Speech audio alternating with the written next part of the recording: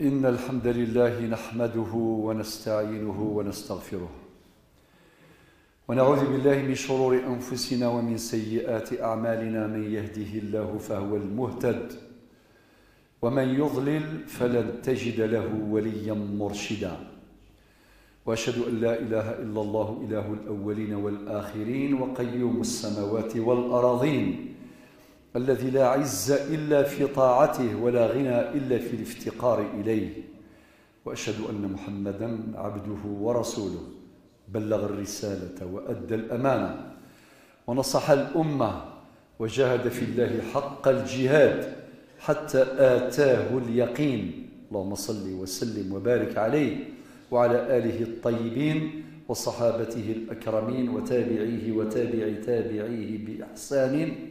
وتقوى إلى يوم الدين. ربنا تقبل منا. هذا العنوان هو جزء مما ورد في الآية 127 من سورة البقرة. ربنا تقبل منا إنك أنت السميع العليم.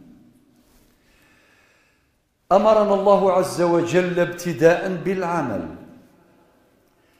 أمرنا بأن نعمر الدنيا بالطاعات والقربات والباقيات الصالحات والإنجازات وبناء الحضارات. أمرنا بالعمارة. نعمر هذه الدنيا في حدود أوقاتنا في حدود أعمارنا. أوقاتنا أعمارنا أعمارنا أوقاتنا. يا ابن آدم إنما أنت أيام. إذا ذهب يومك ذهب بعضك كما قال الحسن البصري رحمه الله.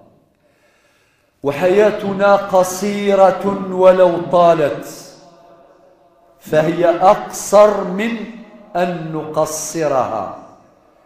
لذلك أمرنا الله عز وجل بالعمل. قيمة العمل مغروسة في الوحيين. في الكتاب والسنة قال ربنا في سورة التوبة في الآية 105 الآية الخامسة بعد المئة الأولى. وقل اعملوا. فسيرى الله عملكم. أول من يطلع على الأعمال هو الله جل جلاله الذي يعلم السر وأخفى. وقل اعملوا. فسيرى الله عملكم ورسوله والمؤمنون وستردون إلى عالم الغيب والشهادة فينبئكم بما كنتم تعملون.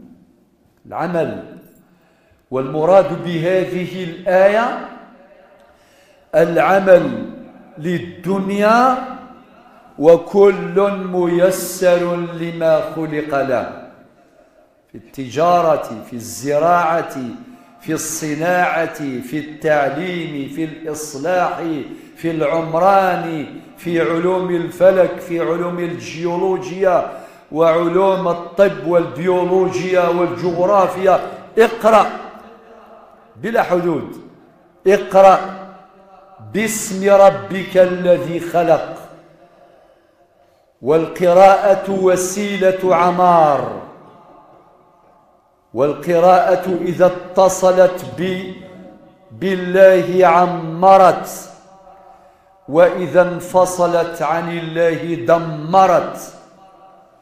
فالعلم عمار أو دمار. العلم يقود الإنسان إلى معرفة الله. ربنا قال إنما يخشى الله من عباده العلماء. وقال في سورة فصلت الآية 53 سنريهم آياتنا في الآفاق وفي أنفسهم النتيجة حتى يتبين لهم أنه الحق. فالعلم إذن يقود صاحبه إلى معرفة الله جل جلاله. والعلم وسيلة لبناء الحضارات. وقد أمرنا بعمارة الدنيا وأمرنا أيضا بعمارة الآخرة بالأعمال الصالحات. منذ أيام قليلة ودعنا وودعنا شهر رمضان. العظيم المعظم نسأل الله أن يتقبله منا. ودعنا لا ندري هل نكون ممن يشهد رمضان القادم أم لا. ذلك في علم الله ذلك في, الغ... في علم الغيب الذي لا يعلمه إلا الله. ولكن أمرنا بحسن الاستثمار. لأعظم نعمة منحها الله لنا الوقت الزمن. أوقاتنا أعمارنا أعمارنا أوقاتنا. فإذا لبينا النداء واجتهدنا في تحقيق مقتضيات الآيات والأحاديث الدافعة إلى العمل بعد ذلك نتضرع إلى الله بالدعاء أتدرون لما؟ لأن الله عز وجل قال لنا في أي القرآن وقال ربكم ادعوني أستجيب لكم وفي الآية 186 من سورة البقرة. بعد آيات الصيام تأتي الآية 186 التي تقول وإذا سألك عبادي عني فإني قريب أجيب دعوة الداعي. إذا دعان والنبي عليه الصلاة والسلام قال في أحاديث كثيرة منها الدعاء مخ العبادة. وفي رواية أخرى الدعاء هو العبادة. لذلك تأتي هذه الآية بعد أداء الأعمال. نتضرع إلى الله بقبول العمل. ربنا تقبل منا إنك أنت السميع العليم. فلا تخفى عليه خافية. أستغفر الله لي ولكم. الحمد لله رب العالمين والصلاة والسلام على أشرف المرسلين وأشهد أن لا إله إلا الله ولي الصالحين وأشهد أن محمدا عبده ورسوله خاتم النبيين وإمام المرسلين.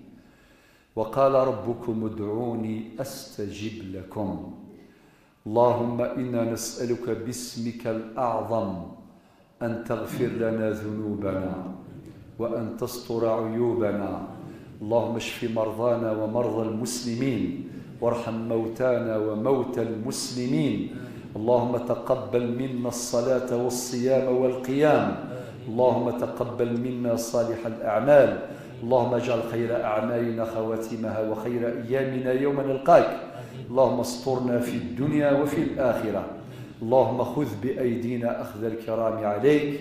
سبحان ربك رب العزة عما يصفون وسلام على المرسلين والحمد لله رب العالمين. وأقم الصلاة.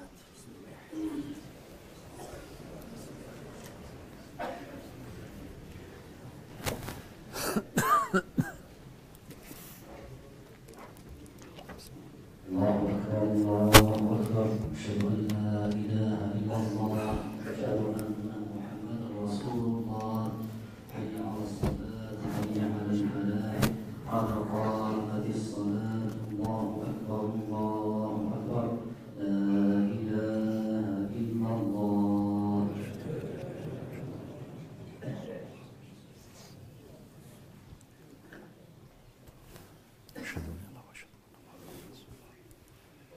استووا استقيموا رحمكم الله.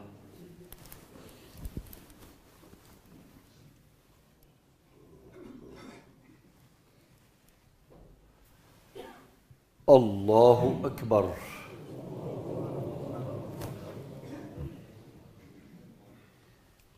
الحمد لله رب العالمين. الرحمن الرحيم. مالك يوم الدين. إياك نعبد وإياك نستعين. اهدنا الصراط المستقيم. صراط الذين أنعمت عليهم. غير المغضوب عليهم ولا الضالين. وسيق الذين اتقوا ربهم إلى الجنة زمرا. حتى إذا جاءوها وفتحت أبوابها وقال لهم خزنتها سلام عليكم طبتم سلام عليكم طبتم فادخلوها خالدين. وقالوا الحمد لله الذي صدقنا وعده. وأورثنا الأرض نتبوأ من الجنة حيث نشاء. فنعم أجر العاملين وترى الملائكة حافين من حول العرش يسبحون بحمد ربهم وقضي بينهم بالحق. وقيل الحمد لله رب العالمين. الله أكبر. الله أكبر.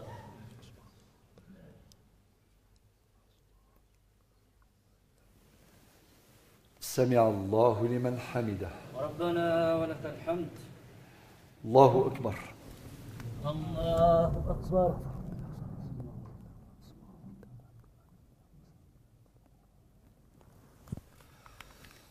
الله أكبر. الله أكبر. الله أكبر. الله أكبر.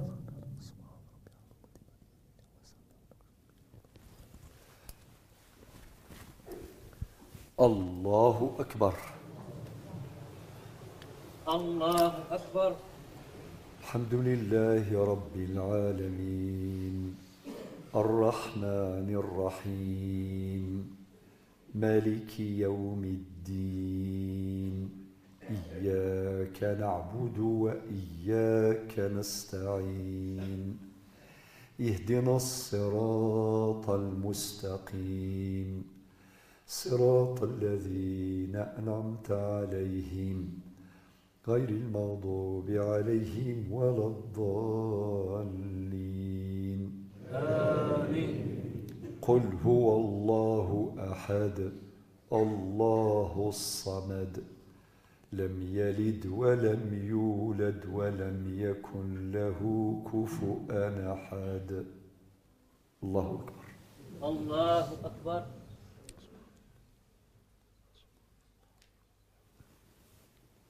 سمع الله لمن حمده. ربنا ولك الحمد. الله أكبر. الله أكبر.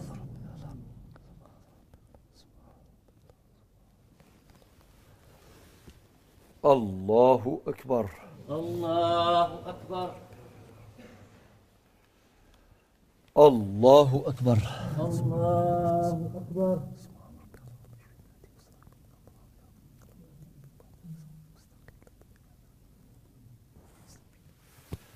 الله أكبر. الله أكبر.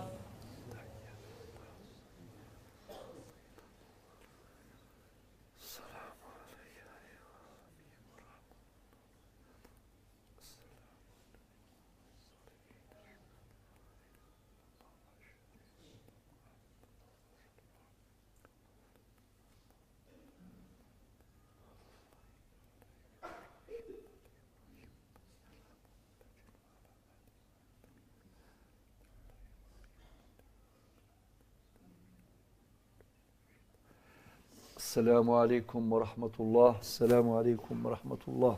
السلام عليكم ورحمة الله. السلام عليكم ورحمة الله.